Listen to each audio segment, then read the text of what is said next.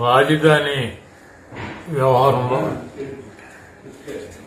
రాజధానికి సంబంధించి సిఆర్డిఏ అని చెప్పి ఒక చట్టాన్ని తీసుకొచ్చి దానికి చైర్మన్గా ముఖ్యమంత్రి ఉంటాడని చెప్పి అప్పటి ముఖ్యమంత్రి చంద్రబాబు నాయుడు గారి ఆధ్వర్యంలో ఈ ల్యాండ్ పూలింగ్ ఇవన్నీ కూడా పెద్ద ఎత్తున చేశాడు ఆయన.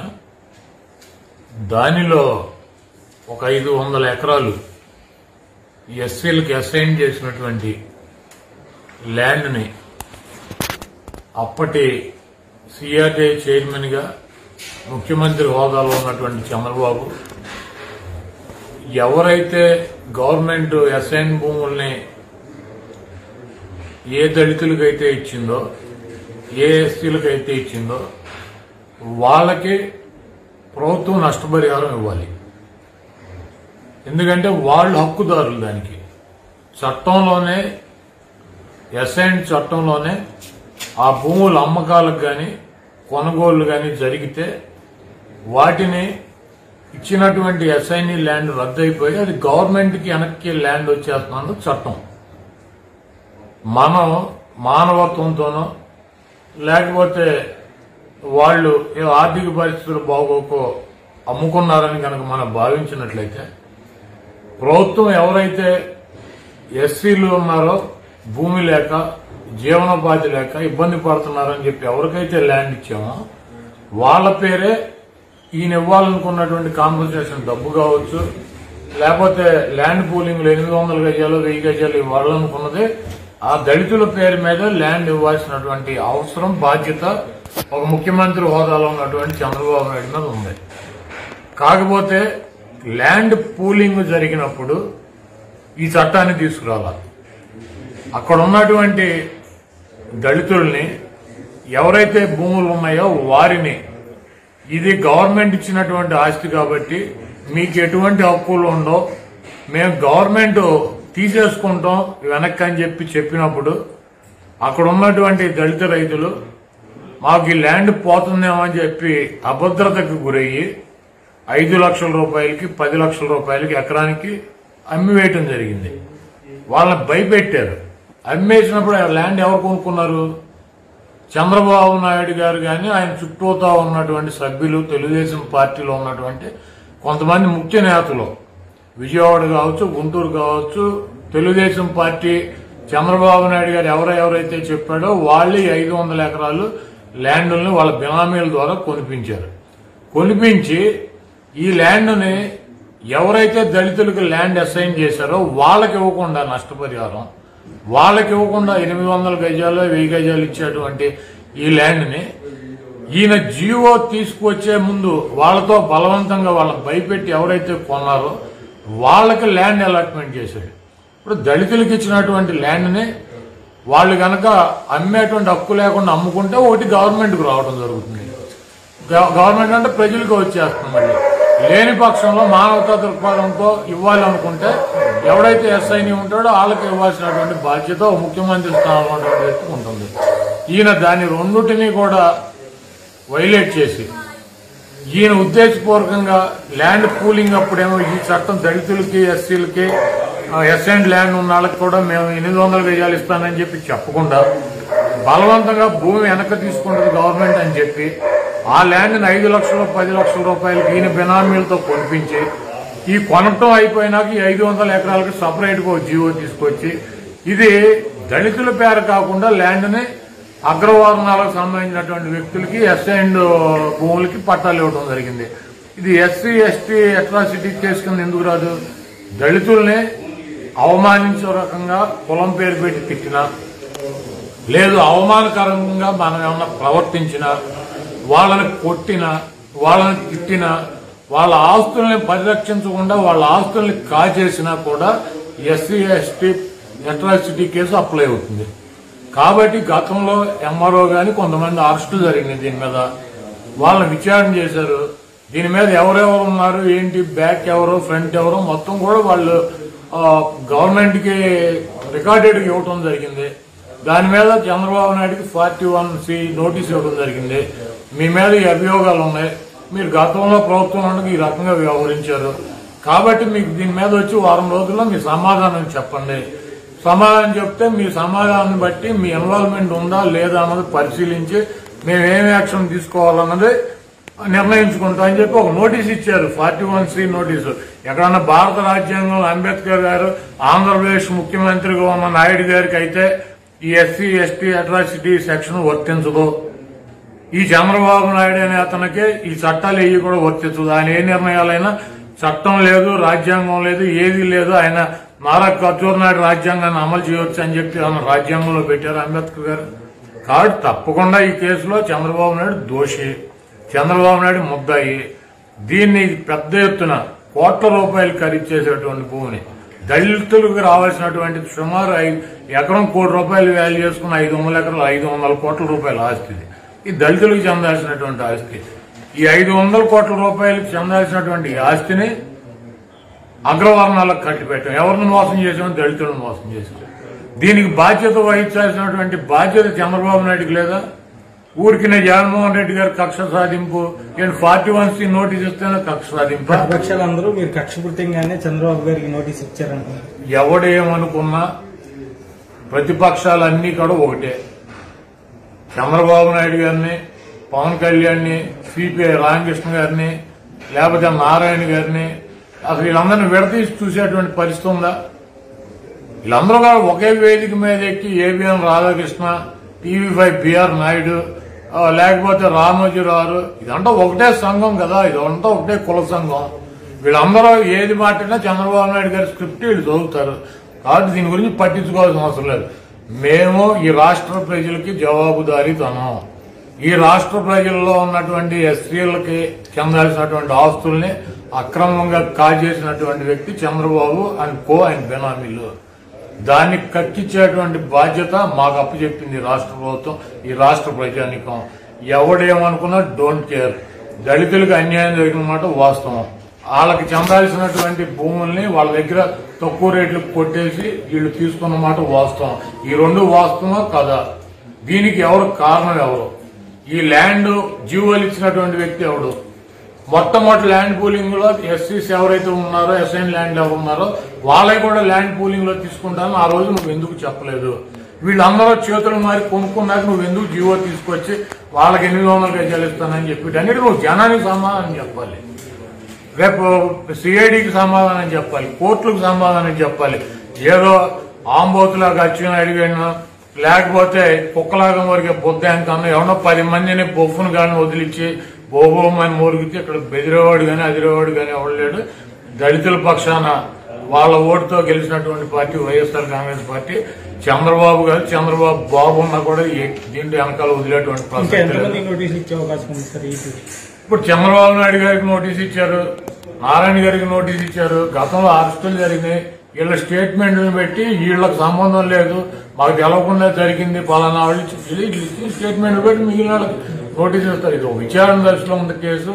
డెఫినెట్గా దీని వెనకాల చంద్రబాబు నాయుడు ఉద్దేశంగా చేశాడని కనుక సిఐడి భావిస్తే డెఫినెట్గా అరెస్ట్ చేస్తారు లోపలేస్తారు ఎవడేమనుకున్నా డోంట్ కేర్ మేము అక్కడ ఉన్నటువంటి దళితులకు న్యాయం చేసామో చేయలేదన్నదే మా మేము ఆలోచిస్తున్నాం కానీ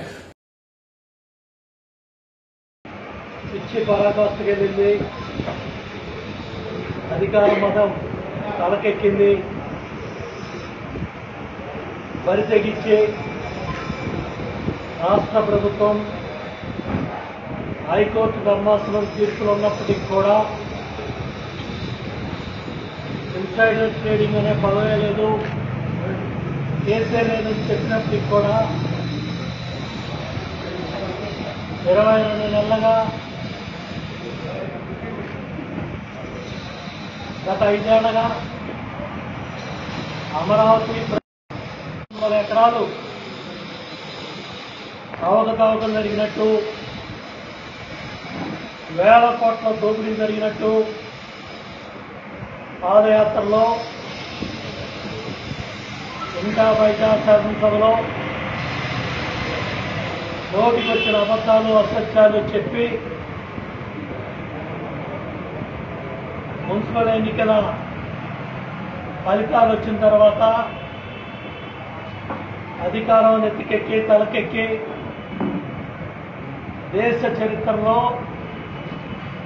ఏ మాజీ ముఖ్యమంత్రి మీద కూడా ఏ ప్రభుత్వం కూడా పరితెగించి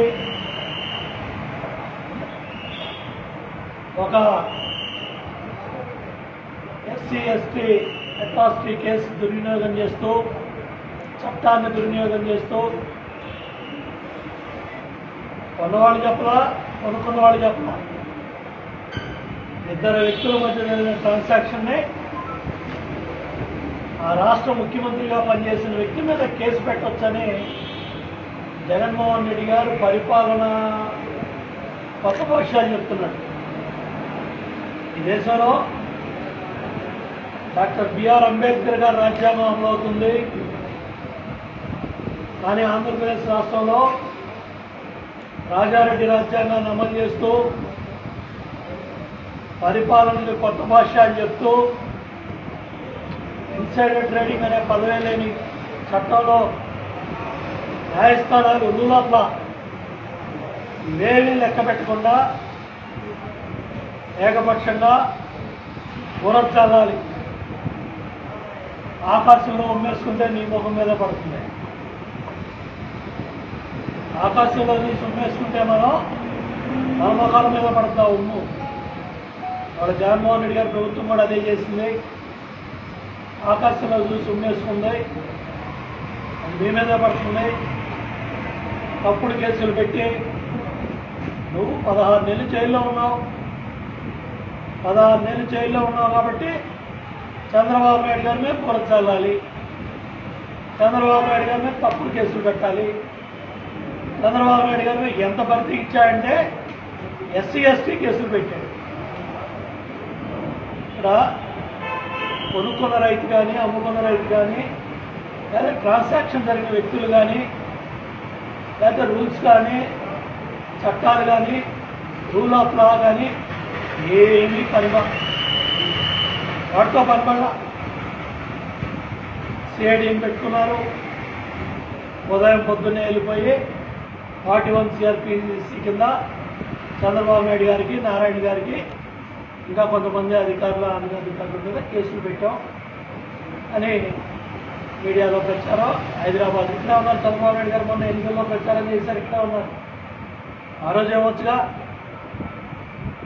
ప్రచారం కావాలి నీకు. దేశంలో చెప్పాలి. చంద్రబాబు నాయుడు గారు మేము పురచల్లాలి తెలుగు వారి కోసం రాష్ట్ర విభజన జరిగిన తర్వాత ఒక ప్రపంచ స్థాయి రాజధాని కావాలని రైతాంగాన్ని పిలిపిస్తే ముప్పై నాలుగు వేల ఎకరాలు ప్రపంచ స్థాయి రాజధాని కోసం ప్రజలు రైతులు రైతు కూలీలు ఎస్సీ ఎస్టీ బీసీ మైనార్టీ పేద వర్గాలకు సంబంధించిన రైతాంగం అందరూ కూడా భూములు ఇస్తే దగ్గర దగ్గర కేంద్ర రాష్ట్ర వివిధ సంస్థలు పదివేల కోట్లు ఖర్చు పెట్టి ఇవాళ నువ్వు పెట్టిన కేసు. నువ్వు కూర్చున్న పరిపాలనా భవనం. నువ్వు చట్టాలు చేసే అసెంబ్లీ. తీర్పులు ఇచ్చే న్యాయస్థానం. ఇవన్నీ కూడా చంద్రబాబు నాయుడు గారి దూరదృష్టితో ఈ రాష్ట్ర రాజధాని కోసం త్యాగం చేయమని కోరితే ఆ త్యాగమూర్తులు భూములిస్తే నాలుగు వందల యాభై ఐదు రోజులుగా వాళ్ళ వీపు బాధపడుతున్నారు రెండు వేల కేసులు పెట్టావు వాళ్ళ మీద. సుమారు రెండు వేల మంది రైతులు కేసుల్లో ఇరుక్కున్నారు. మహిళల అమ్మవారికి గుడికి వెళ్తా ఉంటే మేరీమాత దగ్గరికి వెళ్తా ఉంటే వాళ్ళ చుట్టుపట్టుకొని పట్టుకొని బట్టలు లాగి మగ పోలీసులతో పట్టించారు. అమరావతిలో రోడ్డు మీద అమ్మవారి దగ్గర తీసుకెళ్ళి ఆ పలహారాన్ని రోడ్డు మీద పెట్టుకుని వాళ్ళు నడి రోడ్డు మీద మహిళలు కన్యలతో ఆ పలహారం తీసుకున్నారు. మీ పోలీస్ అధికారులతో ఆ అన్నం కొండల్ని ఆ పలహారం కొండలు కూడా తన్నించాం లక్షదాల ఇవాళ మరి తెగింపు ఏంటంటే జాతీయ అధ్యక్షుడిగా పద్నాలుగు సంవత్సరాలు ఉమ్మడి ఆంధ్రప్రదేశ్లో విభజించబడ్డ ఆంధ్రప్రదేశ్కి ముఖ్యమంత్రిగా చేయబడ్డ వ్యక్తిని పన్నెండు సంవత్సరాలు ప్రధాన ప్రతిపక్ష నాయకుడిగా ఉన్న వ్యక్తి మీద రాజకీయ కక్షతో ఈర్ష్యాద్వేషాలతో కేసులు పెట్టి బుర్ర చల్లితే మా ఇంటికి కూడా మిగలేవు జగన్మోహన్ రెడ్డి గారు ఈ కేసులు మా ఇంటికి కూడా మిగలేవు నువ్వేదో అనుకుంటున్నావు. కేసులు పెట్టి కొట్టించి చంపించాలనే ప్రయత్నం చేసి దుర్మార్గంగా కేసులు పెడితే తెలుగుదేశం పార్టీ కార్యకర్త నాయకులు భయపడరు. వాడేదో స్థానిక సంస్థలో గెలిచామనే అహంకారంతో మతంతో ధనబలంతో ఒక పైచాచిక ఆనందంతో ఇవాళ మా నాయకుడి మీద కేసులు పెట్టాం. న్యాయస్థానాలు ఉన్నాయి. న్యాయ పోరాటం చేస్తాం. ప్రజల్లో తీసుకెళ్తాం. అంతా చూస్తా ఉన్నారు. వాలంటీర్ వ్యవస్థ పెట్టి ప్రతి యాభై మందికి ఒక వాలంటీర్ని కాపాడాదారుగా పెట్టి ఒక భయానక వాతావరణం తీసుకొచ్చి ఓటు వేయకపోతే నీ పెన్షన్ తీసేస్తాం. నీ అమ్మఒడి పోతుంది. నీకు వచ్చే డబ్బులు పోతాయి. నీకు వచ్చే సంక్షేమ పథకం పోతుంది. నీకు ఇచ్చిన ఇళ్ళ పట్టా వెనక్కి తీసుకుంటాం నీకు రావాల్సిన ఇళ్ళ పట్టా ఇవ్వం ఎన్ని దుర్మార్గాలు చేయాలో అన్ని దుర్మార్గాలు చేసి వందల కోట్ల రూపాయలు ఖర్చు పెట్టి గెలిచామనే అహంకారంతో విర్రవీగుతూ ఇరవై నాలుగు గంటలు జరగకుండా ఫార్టీ వన్ సిఆర్పిసి కింద చంద్రబాబు నాయుడు గారికి నారాయణ గారికి కొంతమందికి నోటీసులు ఇచ్చామంటే ఏ విధంగా అధికార యంత్రాంగాన్ని దుర్వినియోగం చేస్తున్నారు? ఏ విధంగా చట్టాలను దుర్వినియోగం చేస్తున్నావు ఆళ్ళ రామకృష్ణారెడ్డి ఎవరు? ఎస్సీ ఎస్టీ వ్యక్తి. ఆళ్ళ రామకృష్ణారెడ్డి ఎస్సీ ఎస్టీ యాక్ట్ పెడతాడు. ఆయన ఇంగ్లీష్లో కంప్లైంట్ ఇస్తాడు. జగన్మోహన్ రెడ్డి గారికి ఇంగ్లీష్ కేంబ్రిడ్జ్. కేంబ్రిడ్జ్లో చదువుకొని వచ్చాడు పాపం ఆక్స్ఫర్డ్లో. ఆడరామ కృష్ణారెడ్డి ఎమ్మెల్యే ఇంగ్లీష్లో కంప్లైంట్ ఇస్తాడు. గత నెల ఇరవై నాలుగో తారీఖు సిఐడి వారు పరిశోధిస్తారు. పన్నెండో తారీఖు గుర్తు చప్పుడు కాకుండా కేసు పెడతారు. పదహారో తారీఖున హైదరాబాద్లో సిఆర్పిసి నోటీసులు ఇస్తారు. ఏం చేస్తున్నావా పరిపాలన జగన్మోహన్ రెడ్డి?